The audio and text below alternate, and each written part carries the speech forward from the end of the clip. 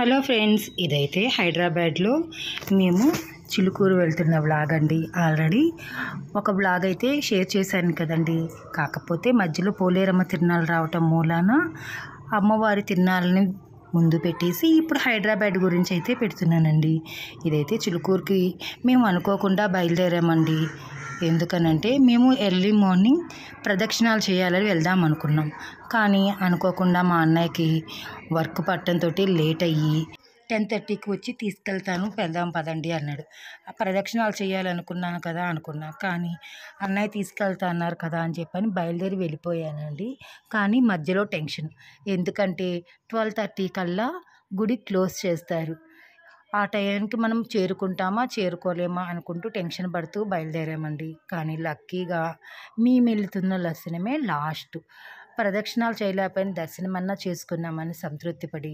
అందుకే అక్కడ ఏ వీడియో తీయలేకపోయానండి. ఎందుకంటే అప్పటికే లేట్ అయిపోయింది. హడావుడిగా గుడిలో దర్శనం అయితే చేసుకున్నామండి.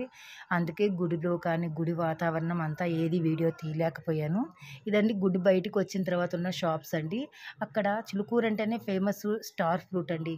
జాంకాయలు బాగా దొరుకుతాయి అక్కడ. ఇంకా స్టార్ ఫ్రూట్ అయితే మా పిల్లలకి టేస్ట్ చూపిద్దామని తీసుకున్నానండి. ఎందుకంటే మా పిల్లలు ఎప్పుడు టేస్ట్ చూడలేదు. నేనైతే అయితే చాలాసార్లు తిన్నాను. అందుకని స్టార్ ఫ్రూట్ అయితే తీసుకున్నాము.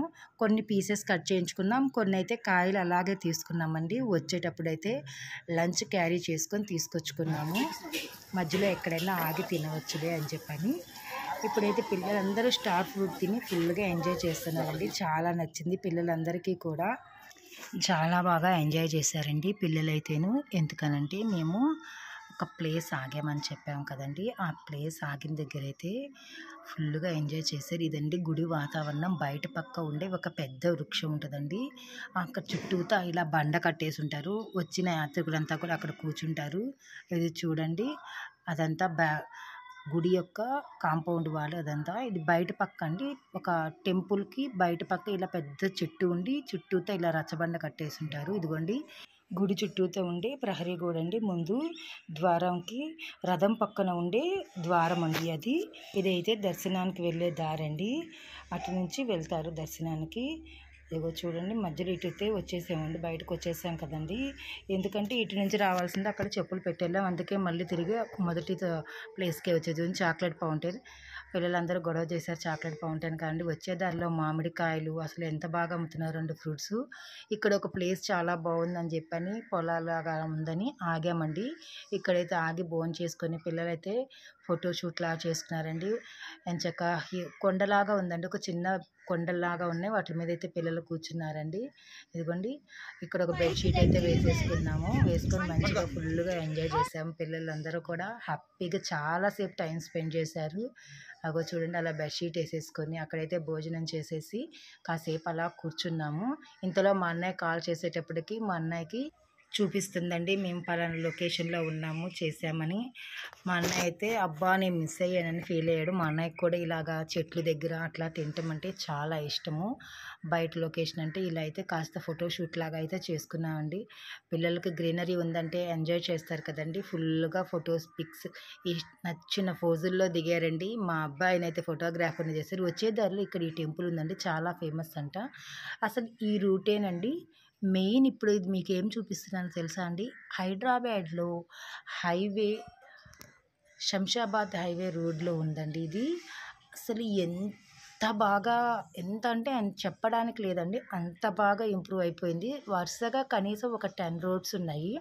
ఇటు మనం వెళ్ళేది కూడా- ఇప్పుడు కూడా అటే వెళ్ళాం కానీ అటు చూపించడానికి రాలేదు మనకి. ఇటు చివర సైక్లింగ్ చేసుకోవడానికి అలాగే వాకింగ్ చేయడానికి అన్నిటికీ స్పేసెస్గా సపరేట్గా కట్టారండి. ఒక ఫారెన్లో అయితే రోడ్డు ఎలా ఉంటుందో అలా ఉందండి. ఇంకా రాబోయే ముందు చూస్తూ ఉంటారు కదా చూడండి మీరు. అసలు అక్కడ బిల్డింగ్స్ కానీ ఏ మాత్రం ఫారెన్ తీసిపోకుండా చూస్తున్నారు కదండి సైడ్ అంతా ఉంది కదండి ఆ రేకుల షెడ్ వేశారు కదా ఆ రేకుల షెడ్లు సైక్లింగ్ చేసుకునే వాళ్ళందరూ కూడా సైక్లింగ్ చేసుకోవడానికి వీలుగా అక్కడ రేకుల షెడ్ వేసేసి సైడ్ అంతా కూడా చూడండి పార్క్ లాగా నీట్గా అటు ఇటు మొత్తం గ్రీనరీగా పెట్టేశారండి. అక్కడ అంతా సైక్లింగ్ చేసుకోవడానికి అలా వదిలేశారండి. మనకి ఫారెన్ కంట్రీస్తో అయితే ఎలా ఉంటుందో అలా అయితే మంచిగా డెవలప్ చేశారు. ఇక్కడ చాలా బాగా అనిపించింది.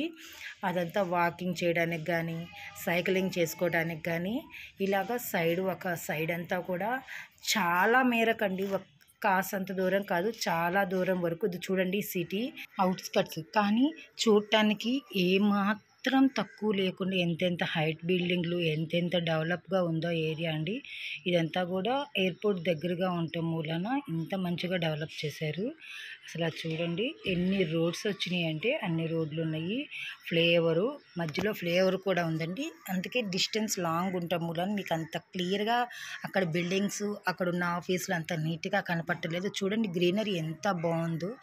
మొత్తం గ్రీ ఇదిగోండి రింగ్ రోడ్ అయితే వచ్చేసింది. అంటే ఈ ఫ్లేవర్ దిగుతున్నాం కాబట్టి ఇక్కడ నుంచి బైపాస్ నుంచి బయటకు వచ్చేసాం కాబట్టి ఇక్కడ అంతా గ్రీనరీగా చాలా బాగుంది. ఇంకా పిల్లలు అయితే అక్కడ దిగి ఫొటోస్ తీసుకోవాలని చెప్పని ఇక్కడైతే ఒక సైడ్కి ఆపిచ్చారండి. ఇక్కడ దిగి అక్కడ విగ్రహం కనపడుతుందిగా అక్కడికి వెళ్ళి నుంచొని కూర్చొని కాస్త ఫొటోస్ అయితే దిగారు పిల్లలు.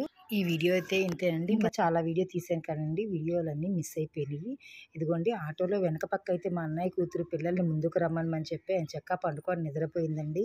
ఈ వీడియో నచ్చినట్టయితే ప్లీజ్ లైక్ చేసి షేర్ చేసి సబ్స్క్రైబ్ చేసి సపోర్ట్ చేయండి. Thank you for watching